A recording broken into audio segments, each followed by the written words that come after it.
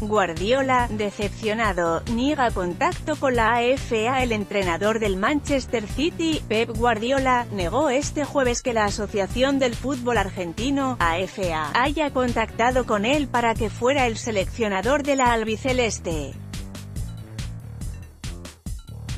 Estoy un poco decepcionado.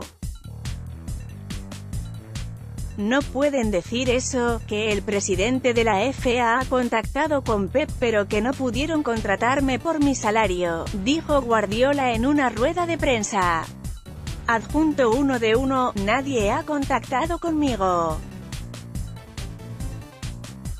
Además tengo contrato con este club y voy a cumplirlo hasta el final, dijo, tampoco es correcto decir que mi salario fue la razón para no contratarme porque no lo conocen, agregó, Guardiola cree que el seleccionador de Argentina tiene que ser un argentino. Hay muchos entrenadores argentinos y realmente muy buenos.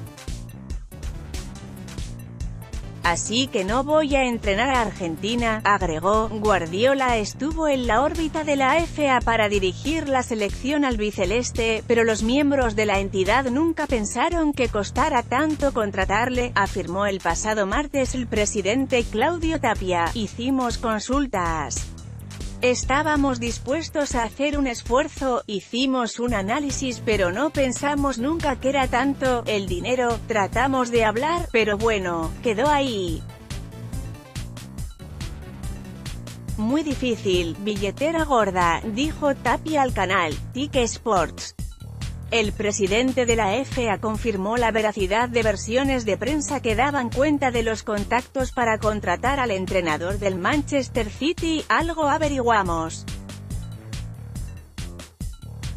Sí, sí, averiguamos, la verdad averiguamos.